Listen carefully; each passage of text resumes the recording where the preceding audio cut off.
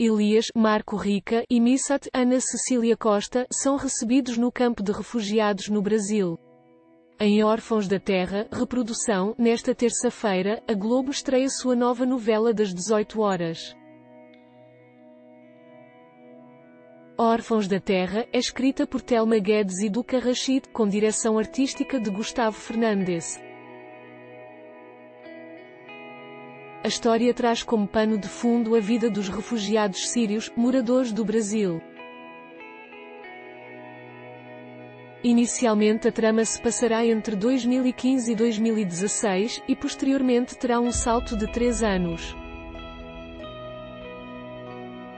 Após a primeira noite de amor, o navio está prestes a ancorar no porto de Santos e Laila, Júlia da Lávia, ainda está na cabine de Jamil, Renato Góis.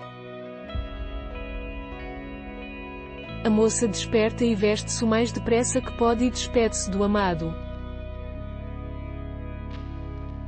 Ele então, anota seu número de celular e o endereço e telefone da casa do amigo onde ficará hospedado. E marcam assim um novo encontro. Capítulos de Órfãos da Terra irão ao ar no Globo Play antes da TV. Entenda Laila sai correndo e acaba encontrando sua mãe, que a estava procurando enfurecida. Missa de Ana Cecília Costa, suspeitando que Laila teria passado a noite com o rapaz, arranca das mãos da moça o papel dado por Jamil, contendo seu número e joga ao mar. Não há tempo para questionamentos, brigas ou discussão, eles precisam desembarcar, pois Elias, Marco Rica, já espera pelas duas.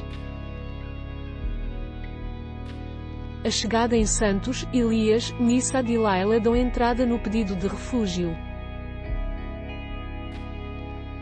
Como a família não tem o endereço de Rania, Eliane Giardini, nem lugar para se hospedar, são apresentados ao padre Zuran Angelo Coimbra, que está por ali assistindo alguns refugiados que chegaram clandestinamente.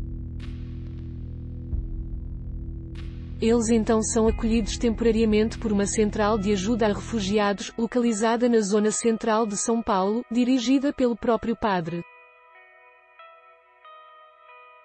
Lá, a família conhece o advogado Rogério Pessoa, Luciano Salles, e a médica, doutora Letícia Monteiro, Paula Burlamaqui, outros voluntários. Além disso, travam contato com outros refugiados, como também médico sírio Farouk Murad, Eduardo Musri, a professora congolesa Marie Pacho, Eli Ferreira e o músico haitiano Jean-Baptiste Blaise Musiper. Rania se enche de emoção ao reencontrar com sua prima, Missa de família.